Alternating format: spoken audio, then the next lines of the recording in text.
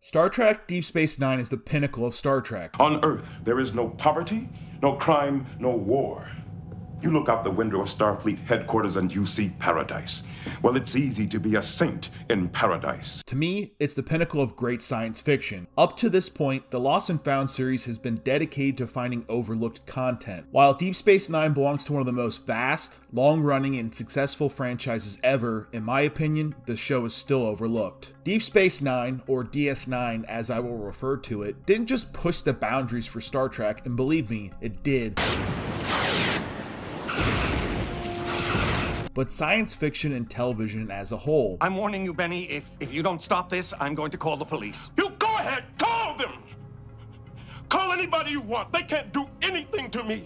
The show's character arcs, themes, and long running story arcs were 180 to what the franchise had seen before. Let's see what's out there. Gene Roddenberry, the man who created the series, used Star Trek as an attempt to say humanity will reach their full potential, that we all together would embrace various perspectives, ideals, and differences to come together for a unified goal. We are all explorers, driven to know what's over the horizon. Up to this point, the two shows to precede DS9, the original series, and The Next Generation would hold true to this. A lot of you watching, myself included, were raised off one of these shows. For me, it was The Next Generation. We're out here to explore, to make contact with other life forms, to establish peaceful relations, but not to interfere. And absolutely not to destroy. It was wholesome but challenging, deep but enlightening matter of internal security. The age-old cry of the oppressor. Captain Picard's speeches, his unique perspective and calculated methods of leadership would serve as one of the best parenting tools one could ever ask for. The Federation does have enemies. We must seek them out. Oh, yes. That's how it starts. So it comes with a bit irony, especially after the speech from the Next Generation's episode The Drumhead that a show, like DS9, embraces heavy motifs of war. But the road from legitimate suspicion to rampant paranoia is very much shorter than we think. Something is wrong here, Mr. Worf. Star Trek was always about discovery, exploration, not only in the lengths of space, but in the lengths of what humanity could possess. Man or woman, it makes no difference. We're human. We couldn't escape from each other even if we wanted to. That's how you do it, Lieutenant. By remembering who and what you are. War, even at its faintest, is humanity at its ugliest. So to embrace a concept like DS9 to a lot of Star Trek fans is ugly. However, I still believe in my heart that Star Trek Deep Space Nine is Star Trek at its best. You're going against everything you claim to believe in. And for what? To satisfy a personal vendetta? You betrayed your uniform! And you're betraying yours, right now! Before I get ranty, if you liked the video, please give it a thumbs up. If you love it, maybe subscribe. Leave a comment about what show you want to see for future episodes of Lost and Found. Inspiration always helps. But back to Star Trek. Asking anyone to journey through a series via my recommendations is a challenge. Asking anyone to tour through a franchise, especially one the size of Star Trek, is difficult. Not including the new Star Trek Discovery, you're looking at roughly 726 episodes of content.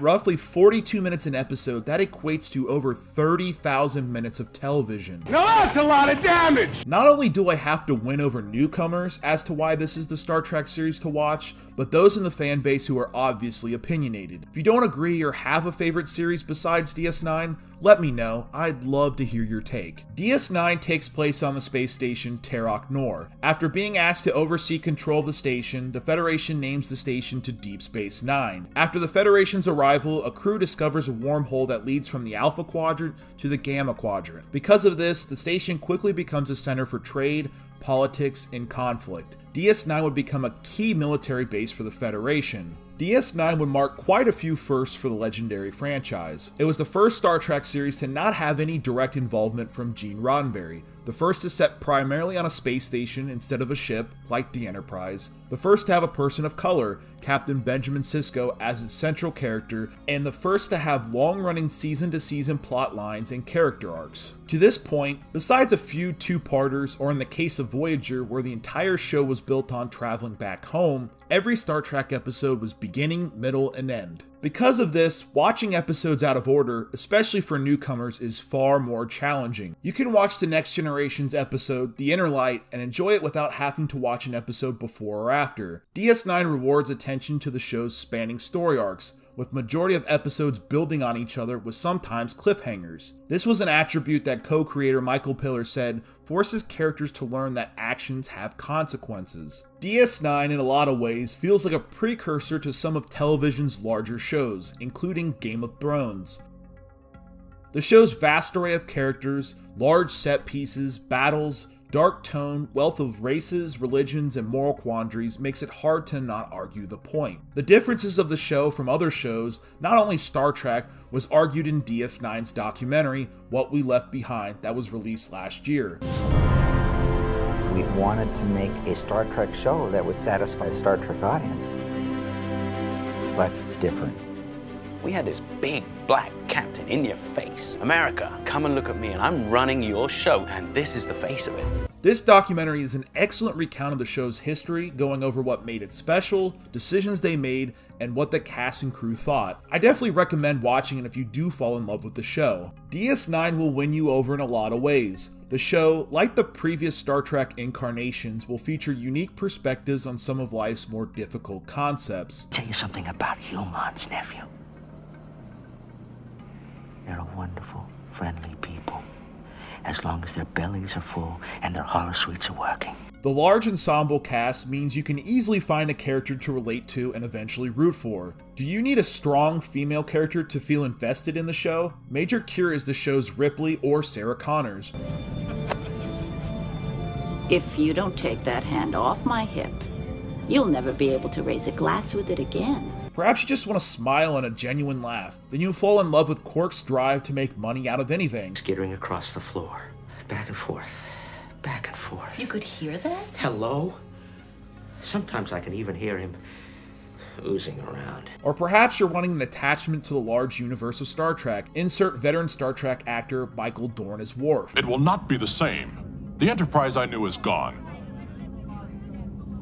Those were good years. Some of these battle sequences, particularly the space battle sequences, thanks to excellent model work and special effects, look fantastic, even today. Picking out a handful of episodes to spotlight what the show is capable of is difficult. The first I'd go with is a season 4 episode 3 entitled The Visitor. The episode takes place in the future as Jake Sisko, son of Captain Sisko, details the story of how he lost Captain Sisko to a subspace anomaly. Jake, what's happened to you? This is the last chance I'm ever gonna have to help you. No! Jake, every so often, is tortured by the reappearance of his father, who is suspended in time. You could still have so many years left. No. We have to be together when I die. This eventually leads Jake to being obsessed and torture over his inability to get his father out. Jake eventually gives up on his long life dream of writing and a successful marriage in order to find his father. Let go, Jake. If not for yourself, then for me. You still have time to make a better life for yourself. Promise me you'll do that. Promise me. Captain Sisko eventually pleads with his son to give up on a search for him and rebuild his life by returning to his passion, writing. This episode is an absolute powerhouse. The episode was nominated for numerous awards with tons of fantastic performances. Jake. My sweet boy. Mainly from Avery Brooks and guest starred Tony Todd as the old Jake. The episode is an emotional roller coaster detailing the struggles of obsession, guilt, loss, and the connection a father can have to his son. If you watch it and don't feel any sort of emotional connection, then you don't have a heart. The episode is easily one of the best in all of Star Trek and can be watched without having really any connection to the universe. The other fantastic episode that might require some understanding of the universe is the season 6 episode In the Pale Moonlight. Captain Sisko spends weeks conflicted, detailing his personal accounts via flashback of his personal decision to do something Captain Picard would never do drag another race into a war. The Romulan Empire formally declared war against the Dominion. Due to large losses suffered by the Federation, Sisko decides in order for the Federation and their allies to have any chance of winning, they must bring in the Romulans no matter what. That was the moment I made the decision. It was like I had stepped through a door and locked it behind me. I was going to bring the Romulans into the war. Sisko deals throughout the episode with the weight of this decision, the lasting impact of having another race, another faction in the universe dragged into a bloody war. Every day, entire worlds are struggling for their freedom. And here I am, still worrying about the finer points of morality. It's ultimately the right decision, but one that comes at a great cost. The episode, written by Ronald D. Moore, who would also go on to create one of the best sci fi shows in the 2000s, Battlestar Galactica, is absolutely brilliant. Keep my eye on the ball, winning the war, stopping the bloodshed, those were the priorities. Lost and Found provides a unique challenge every episode to me. Each video is meant as a recommendation before a retrospective. While I enjoy providing unique perspectives on the shows and what they mean to me, ultimately, I want each viewer to see the show and enjoy it as I do. You hit me. Picard never hit me. I'm not Picard. DS9, like many people, will always carry a significant weight in my life.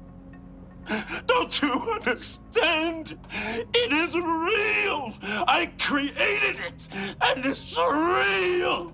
It's real. While I understand why some Trekkies may not like the show's dark message and heavily war laden themes, I believe it helps touch on some of the finer elements of humanity. And if your conscience is bothering you, you should soothe it with the knowledge that you may have just saved the entire Alpha Quadrant, and all it cost was the life of one Romulan senator. While the spectacles the battles present is awe inspiring, the war takes a toll and characters face significant consequences after every battle. Each episode as the show continues on feels more and more desperate, which shows the lengths each characters will go to accomplish their goals. The doctor doesn't want anybody in there. Well, how's Nog? It's a little late for you to care about that, isn't it?